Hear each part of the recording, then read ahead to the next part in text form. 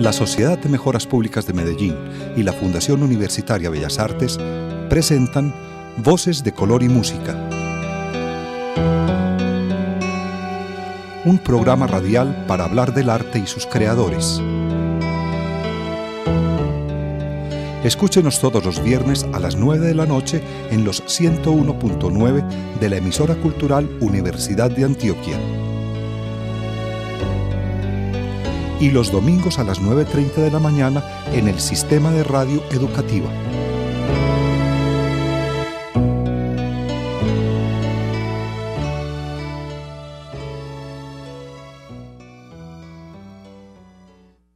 Bienvenidos, estamos en Voces de Color y Música, el programa radial de la Fundación Universitaria de Bellas Artes y la Sociedad de Mejoras Públicas de Medellín. Hoy hemos invitado a Teresita Rivera Ceballos, ella es de la corporación Ítaca y viene haciendo un trabajo de gestión cultural en, compañía de varias personas, Jorge Alonso Zapata, Omar Ruiz, vienen haciendo un trabajo muy, muy interesante en un espacio del centro de la ciudad que se denomina Barbacoas, que conocemos como Barbacoas y donde también eh, allí hay un lugar que se ha convertido en un espacio cultural, en un centro cultural para la ciudad de Medellín, eh, la Galería Divas. Bienvenida Teresita Rivera Ceballos al programa Radial Voces de Color y Música. ¿Cómo ha estado? Muy bien, Carlos. Muchas gracias por invitarnos.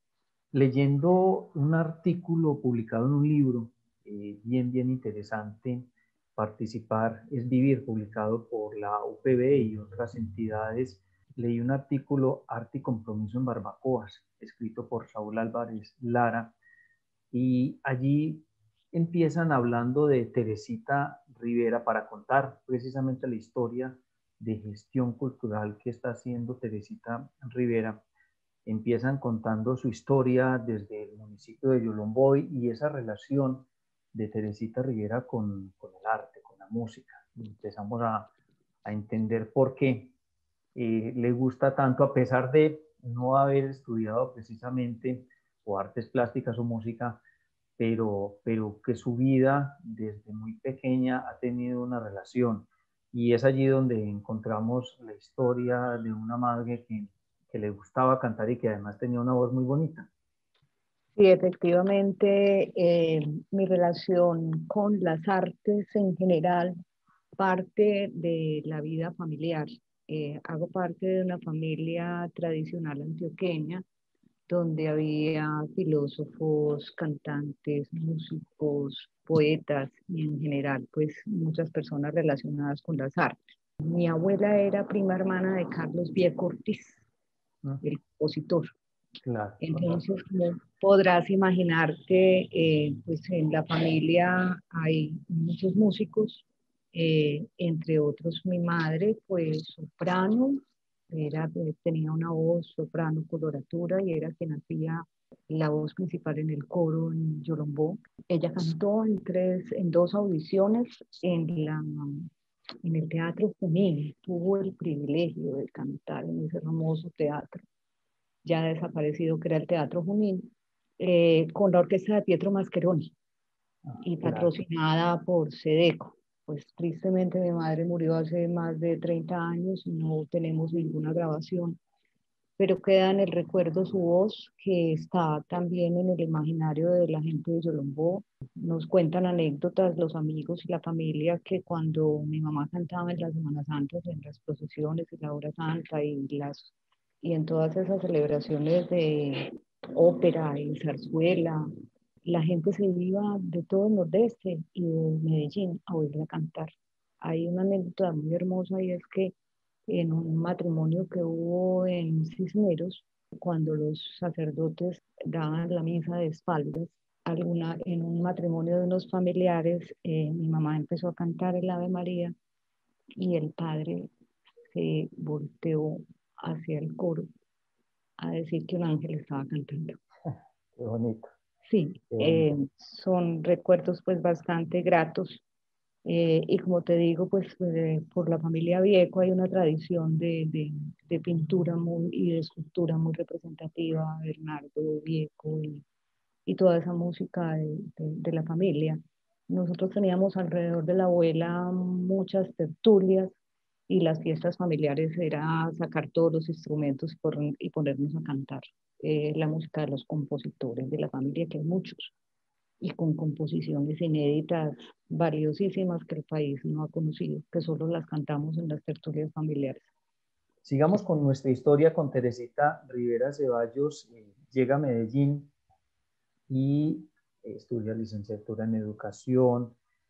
¿Por qué no, digamos, eh, Teresita Rivera, eh, estudiar algo de arte o de música?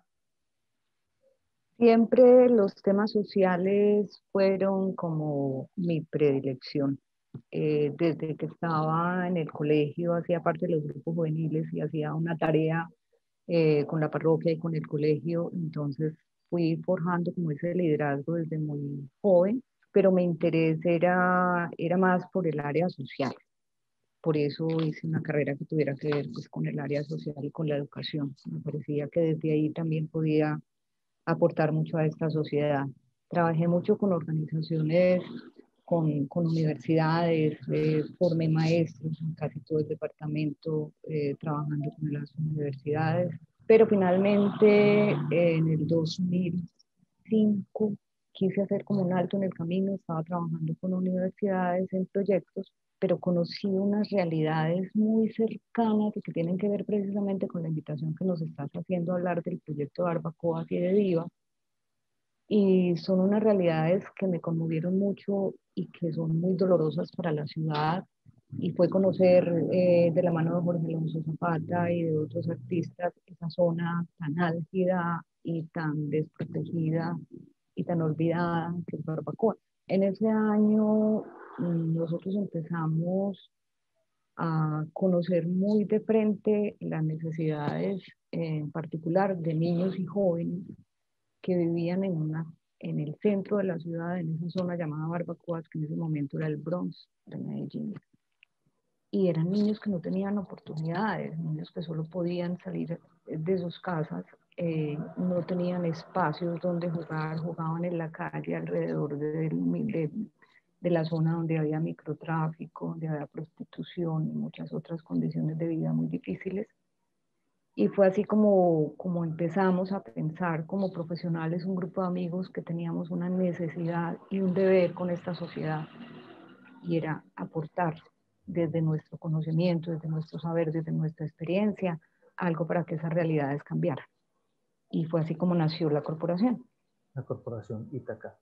Eh, yo creo que para la mayoría de, habitantes de Medellín o de Antioquia, eh, logramos identificar el centro de Medellín como un espacio muy importante, un espacio económico donde hay muchos negocios, un espacio de la cultura, la mayoría de agrupaciones teatrales están en el centro de la ciudad, pero también el sitio de muchos problemas, de muchos problemas sociales.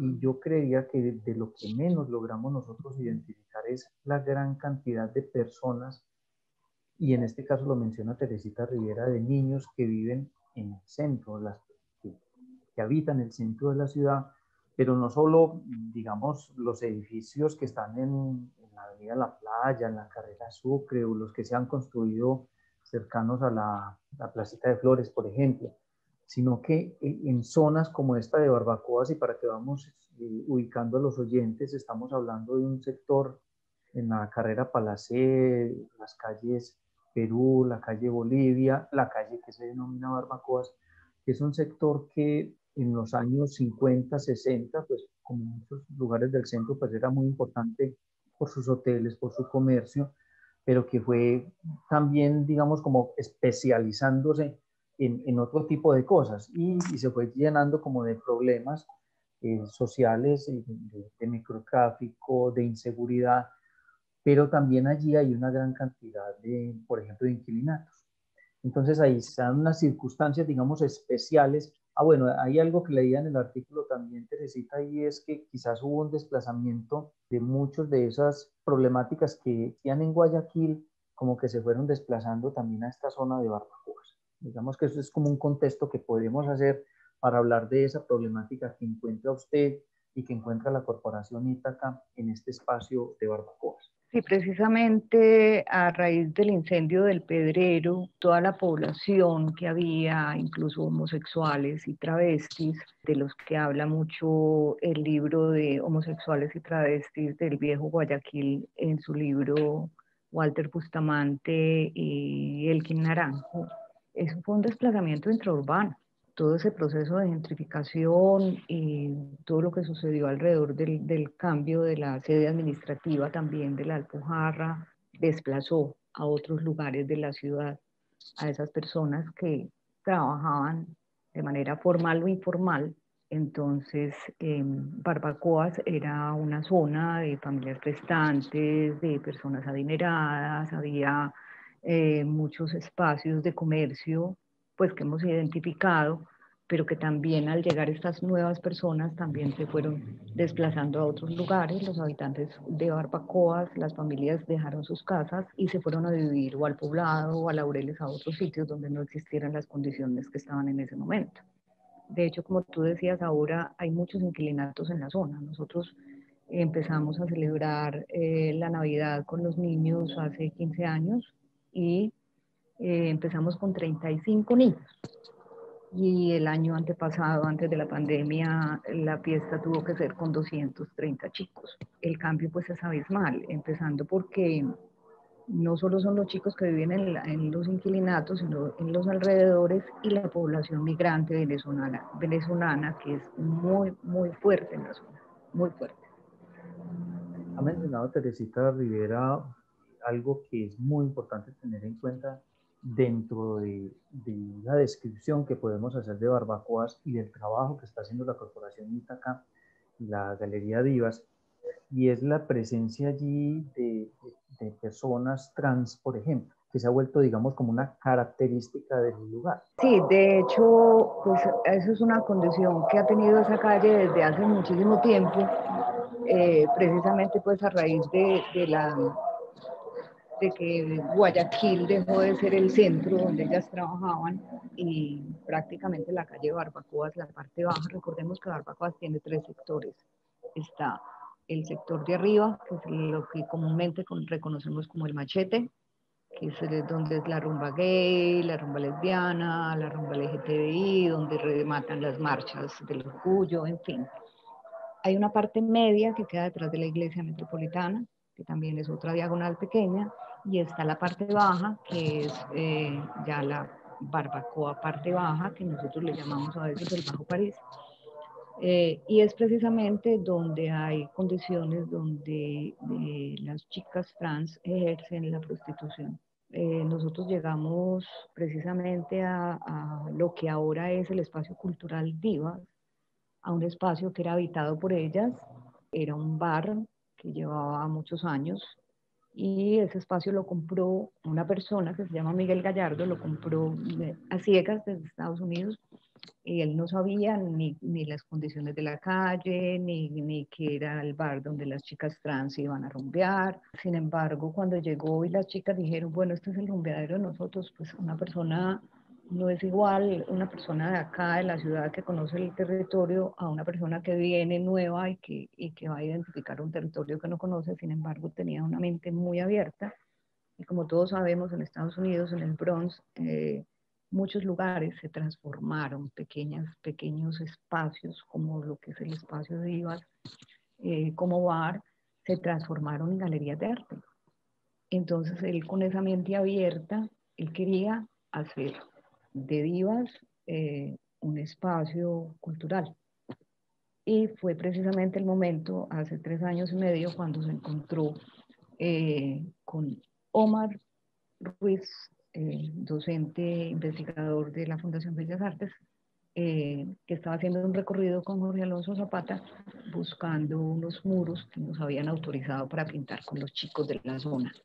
Entonces ahí fue donde se encontró Omar con una exalumna de Bellas Artes que estaba asesorando y acompañando a Miguel en la decoración del espacio.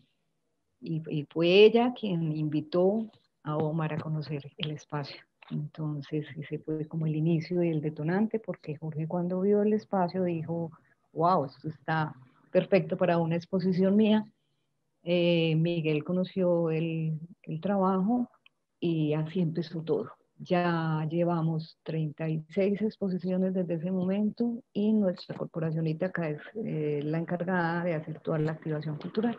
Hay una frase que me encuentro en el texto de Saúl Álvarez Lara y es, el arte es un vehículo de transformación de la sociedad. Hablemos de, de ese concepto, Teresita Rivera, que nos permite entender el trabajo que están haciendo ustedes con la Corporación Ítaca y con Divas en este sector de Medellín. Bueno, con respecto a eso, quiero contarte que precisamente eh, uno de los objetivos principales que teníamos con, con eh, la activación del lugar era hacer del lugar un espacio muy incluyente. Eh, la idea no era desplazar del lugar a las personas trans que habían estado pues, transitando durante tantos años por el lugar, sino que queríamos incluirlas en la mayoría de las activaciones que, que queríamos realizar. De hecho, en ese momento Divas es un referente no solo para la comunidad trans, para las chicas trans de la ciudad, sino también para la diversidad en general. Somos un espacio diverso, incluyente, que además tiene tres ejes curatoriales que son muy importantes y que son los que guían toda la activación y son cuerpo, erotismo y territorio. Porque es que somos una galería autogestionada en contexto y valorando mucho el territorio porque realizamos mucho trabajo con la comunidad que está en todo el contexto. Además de lo novedoso, lo raro, distinto que puede hacer para la comunidad que habita en este sector, el hecho de encontrar unas exposiciones, unos talleres de dibujo, de pintura, esas actividades culturales que ustedes están desarrollando allí, ¿cómo ha sido la recepción? ¿Cómo ha sido ese encuentro entre, entre ustedes, entre todos ustedes? Bueno, inicialmente te cuento que la acogida de los habitantes de la ciudad ha sido muy importante para nosotros.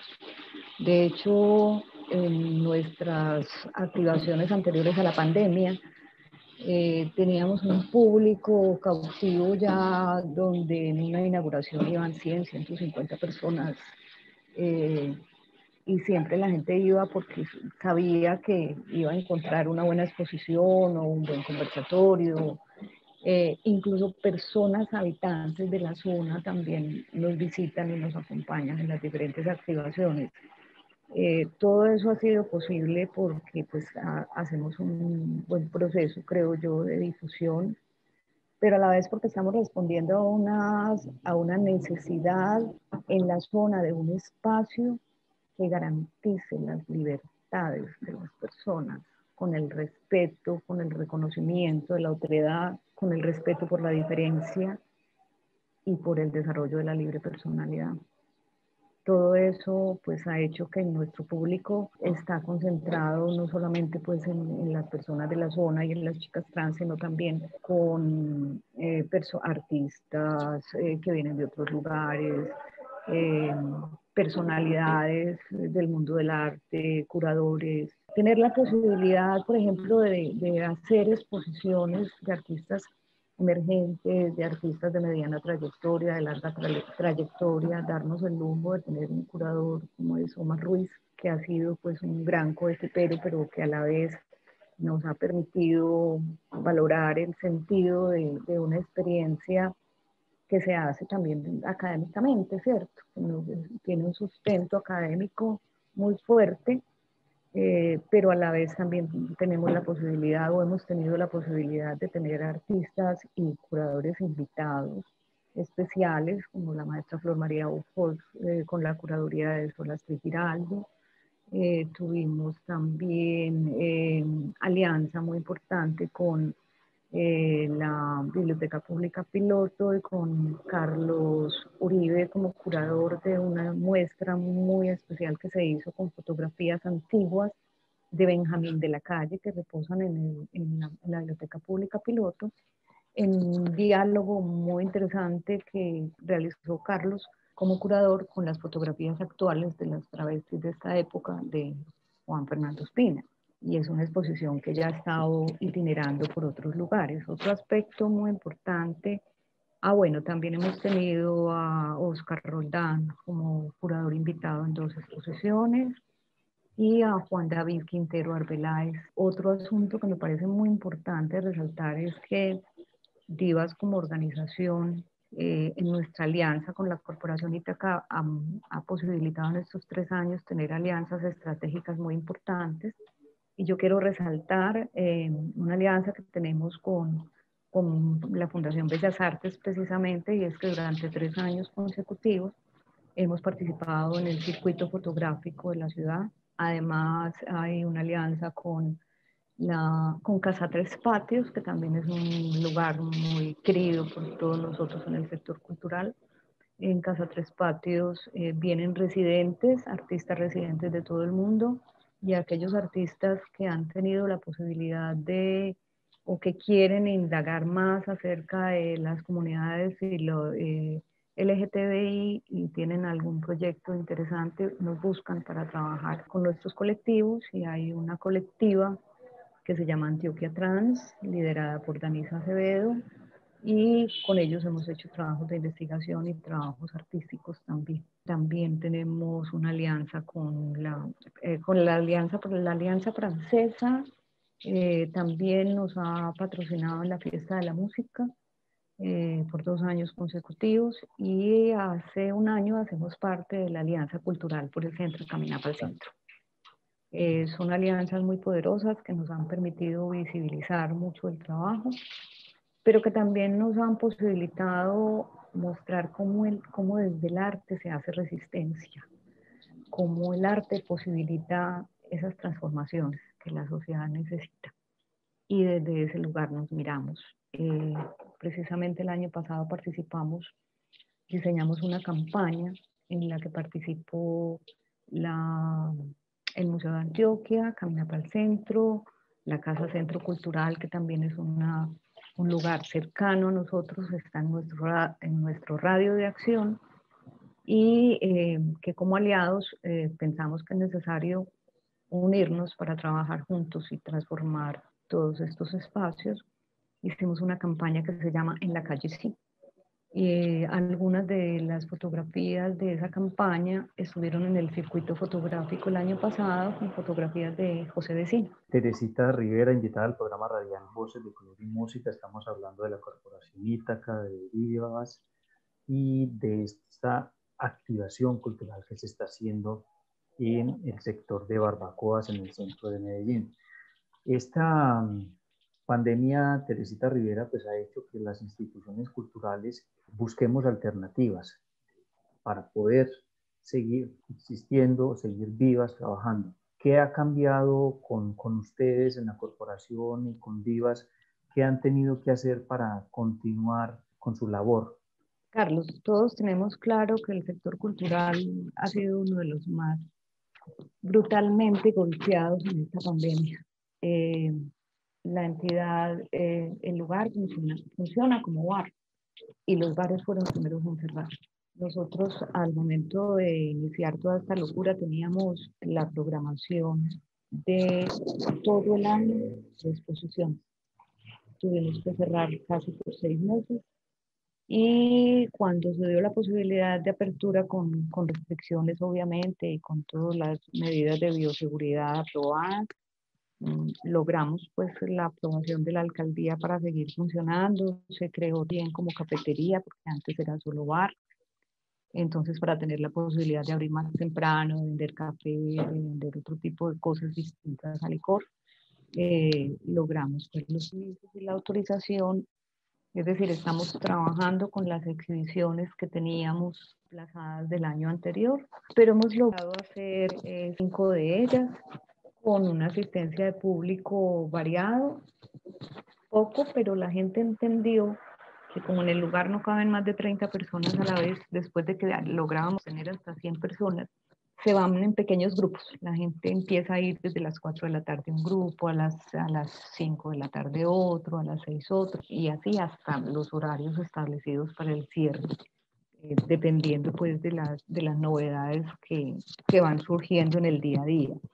Y la otra manera eh, no es tanto reinventarse, eh, es aprovechar o saber aprovechar como las ventajas que tiene la Internet y empezamos a realizar muchas activaciones por Internet, de manera que, por ejemplo, ahora eh, estamos haciendo no solo que transmitimos algunos de los eventos, sino que también hacemos nuestros conversatorios con los artistas y eso nos ha posibilitado también vincularlos con públicos de otras ciudades con públicos de otros espacios. Claro, e, esa es yo creo que la, la, gran, el gran aprendizaje o ganancia que hemos tenido con este tiempo de pandemia es poder llegar a unos lugares donde antes no llegábamos.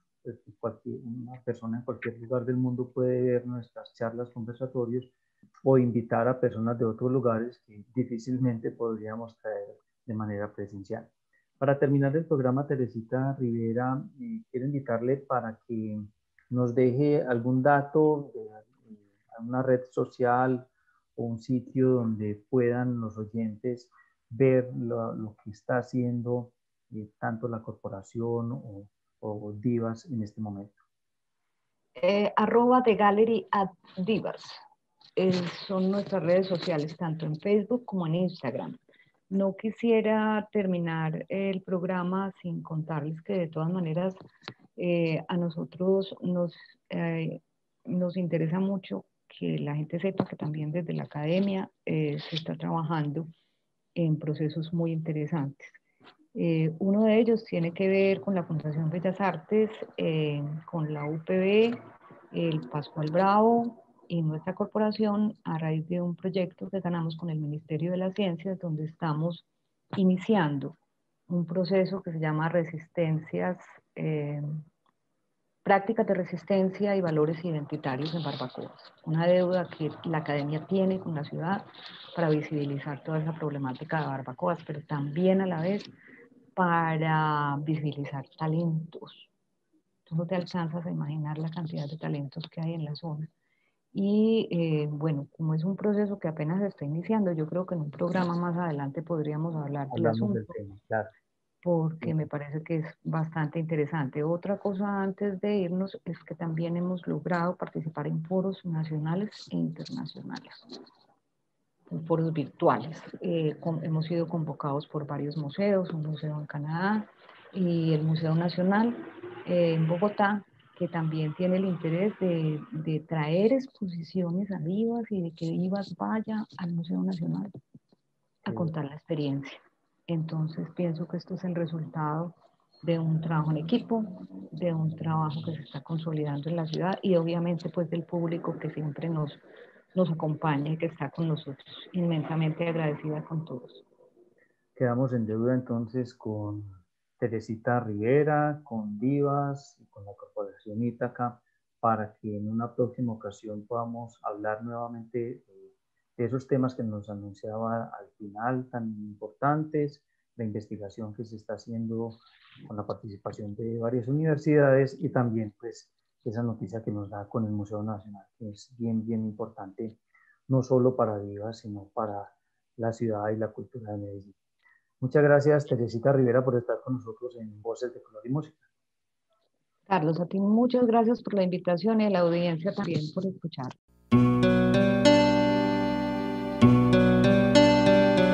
La Sociedad de Mejoras Públicas de Medellín y la Fundación Universitaria Bellas Artes presentaron Voces de Color y Música,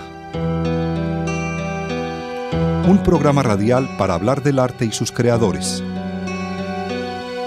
Escúchenos todos los viernes a las 9 de la noche en los 101.9 de la emisora cultural Universidad de Antioquia. Y los domingos a las 9.30 de la mañana en el sistema de radio educativa.